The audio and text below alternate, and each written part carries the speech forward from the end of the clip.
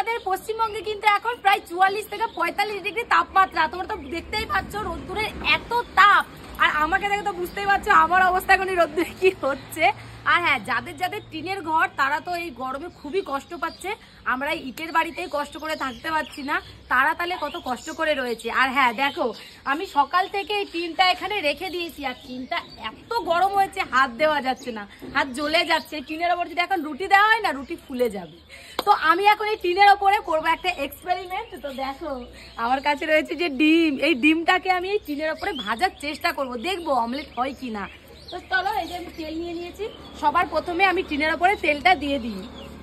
তো চলো, এই জায়গাটা আমি একটু তেল দিয়ে দিলাম। আর তেলটাকে একটুখানি সাইডে এরকম করে দিয়ে দিই। ওরে, খুন্তি গরম হয়ে গেছে। এই টিনের ওপরে এরকম তেলটা দিয়ে রাখি।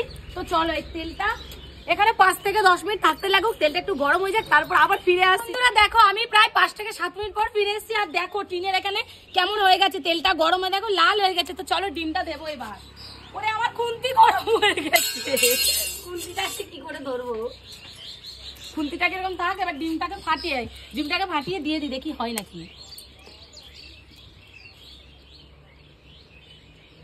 তো দেখো, ডিমটাকে দিয়েছি, ডিমটাকে একটুখানি চাড়িয়ে দিই আমি। দেখো।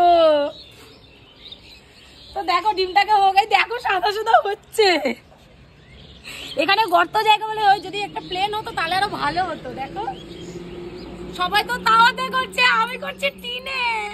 তো দেখে যা কি হয় অমলেটটা হয়েছে তেলটা দেখো, এদিকে চলে এসছে। দেখো কুসুমটা যেখানে তেলটা গেছে, সেখানে সেখানে দিলেই দেখো হয়ে যাচ্ছে। এই দেখো। মানে যেখানেই দেওয়া হচ্ছে, সেখানেই জমে যাচ্ছে।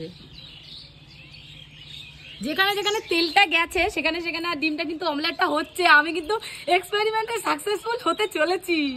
দেখি কতক্ষণ লাগি। দেখো, পুরো জমে গেছে, দেখো। দেখো, জমতে শুরু হয়েছে। দেখো, ডিমটা কেমন ফুটছে, দেখো। আমি তো মিশন সাকসেসফুল হয়ে গেছি। দেখো, ডিমটা কত সুন্দর ফুটছে।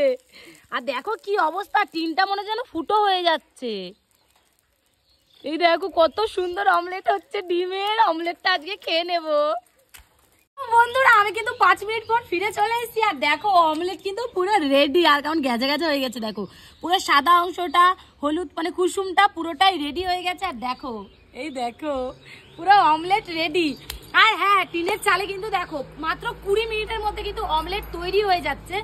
আর টিনের ঘরে থাকছে, তাদের কতটা কষ্ট হচ্ছে বলো? আর বন্ধুরা, তোমরা যারা যারা টিনের ঘরে থাকো, তারা তারা কিন্তু অবশ্যই কমেন্ট করো, আমি ঠিক বলছি কি না? তারা কিন্তু একবার টিনের চালটায় হাত দিয়ে দেখো, হাতে ছ্যাঁকা লেগে যাবে। তো চলো সেসব বন্ধুরা তো অনেক কষ্টে থাকো, তারা কিন্তু অবশ্যই কমেন্ট করে জানিও, তাদের কতটা কষ্ট হচ্ছে সেটা তো বুঝতে পারছি, কারণ এই রোদ্দুরে আমি এতই কষ্ট হচ্ছে। চলো আমি খুন্তিটা নিয়ে নিই, আর খুন্তিটা দিয়ে খুন্তিটা এত গরম হয়ে যাচ্ছে, খুন্তি দিয়ে আমি অমলেটটাকে এবার তুলি।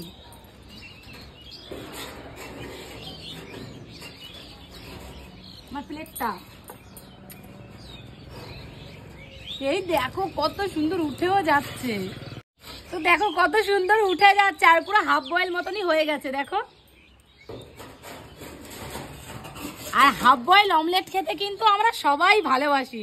তো কমেন্ট করে বলো, এরকম অমলেট খেতে কারা কারা ভালোবাসো? আমি কিন্তু খুব ভালোবাসি। তো দেখো, এবার এটুকু তুলে নি। এবার অমলেটটাকে একটু টেস্ট করে দেখি কেমন লাগছে। হেভি লাগছে কারণ পুরো হয়ে গেছে কিন্তু অমলেটটা। তো চলো আর একটু খাই। কুসুমটা খেয়েছে সাদাটা খায়। Heavy heavy. তো যাদের যাদের টিনের চাল আছে, তারা তারা কিন্তু টিনের চালে গিয়ে একবার অমলেট করে খেও হেভি টেস্ট লাগবে।